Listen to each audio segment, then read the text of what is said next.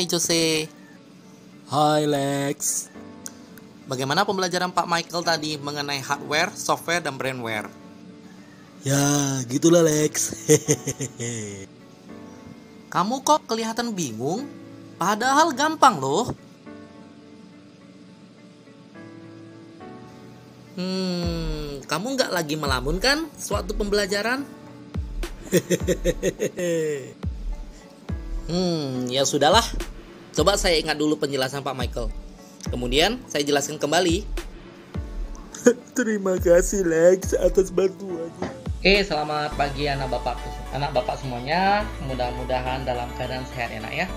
Ya tetap semangat untuk mengikuti pembelajaran dari. Nah, kali ini kita akan membahas mengenai hardware, software maupun brandware. Oke. Kemarin nggak terasa kita sudah membahas mengenai sejarah komputer itu sendiri, kemudian pengertian dari teknologi pada zaman dulu dan zaman sekarang, terus contoh-contohnya. Nah, sekarang kita agak menjurus ke yang berhubungan dengan komputer, yaitu hardware, software, dan brandware. Oke, tentunya anak-anak semua bertanya, apa itu hardware? Apa itu software? Dan apa itu brandware? Tentu kalian di SD kalau ada mempelajari tentang komputer, kurang lebihnya pasti ada membahas mengenai hardware, software maupun brandware.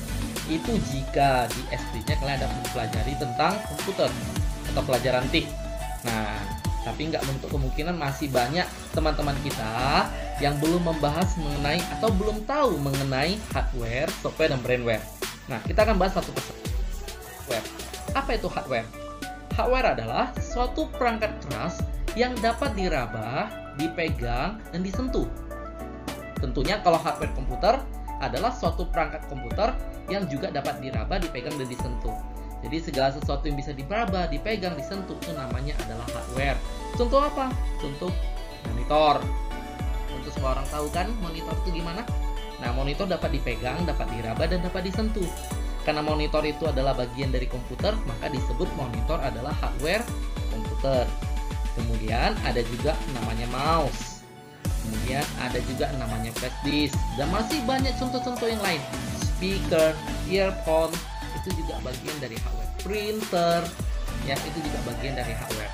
Nah hardware ini sendiri digolong menjadi dua jenis yaitu hardware untuk input dan hardware untuk output. Serta ada satu lagi otak dari hardware itu sendiri yaitu hardware processing. Nah untuk hardware input adalah suatu perangkat keras yang dapat diraba, dipegang dan disentuh dan berfungsi untuk memasukkan data ke dalam komputer.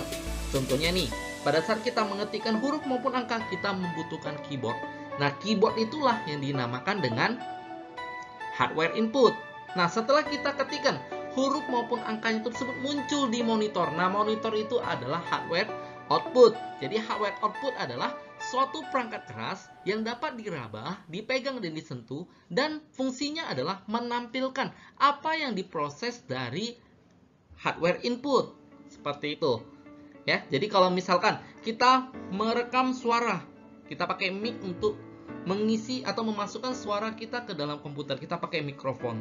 Nah, untuk mendengarkan suara kita, ya kita menggunakan speaker seperti itu. Sama halnya dengan mouse. Pada saat kita menggerakkan mouse, otomatis pointer yang ada di layar monitor itu akan bergerak. Apa itu pointer? Pointer adalah satu buah tanda berbentuk seperti tanda panah yang terdapat pada komputer.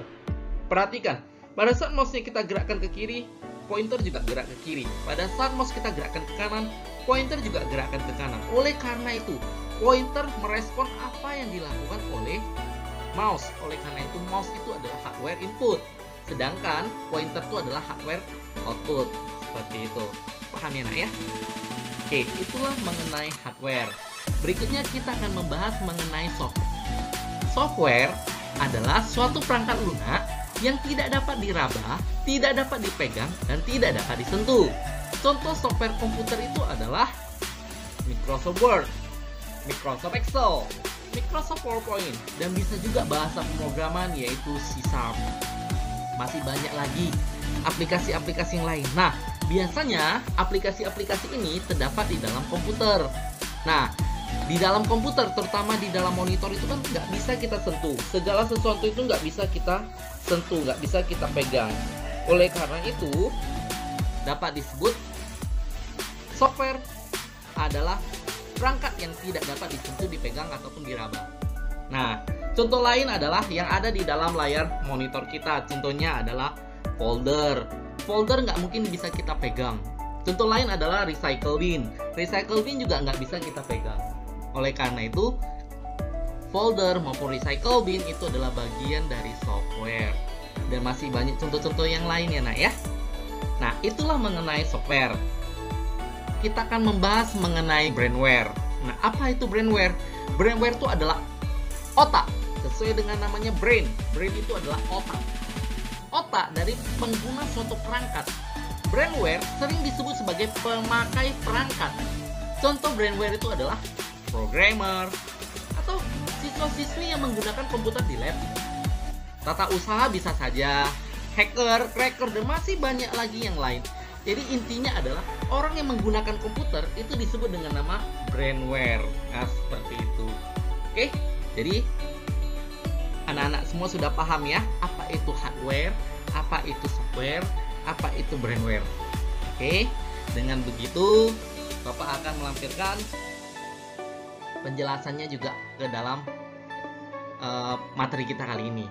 Ya, jadi nggak hanya gambar saja, Bapak akan lampirkan penjelasan juga. Bapak harap sekali apa yang Bapak sampaikan mengenai hardware, brandware maupun software tersebut dapat menambah ilmu anak-anakku semuanya. Oke, sekian dulu dari Bapak. Bapak akhiri dengan mengucapkan selamat pagi. Nah, dari penjelasan Pak Michael tadi, saya punya sebuah soal nih. Soalnya itu adalah Johnny pergi ke rumah Alexa. Sesampainya di sana, mereka mengerjakan tugas mereka dalam aplikasi Microsoft Word dan Microsoft Excel. Namun, suatu pengerjaan, monitor dan keyboardnya rusak. Oleh karena itu mereka membatalkan mengerjakan tugas dan Johnny pun pulang ke rumah. Dari cerita yang saya sampaikan tadi, coba sebutkan siapakah atau apakah yang menjadi hardware, software, dan brandware. Ingat loh, kumpulkan minggu depan ya. Ingat jangan nggak dikerjakan.